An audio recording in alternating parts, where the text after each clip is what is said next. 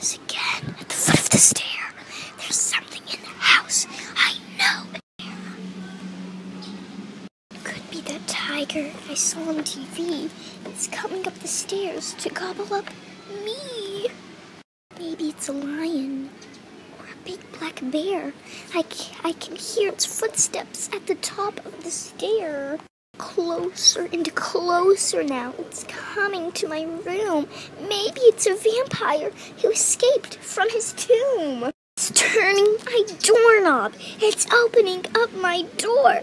What if it's a dragon? Maybe two or three or even four.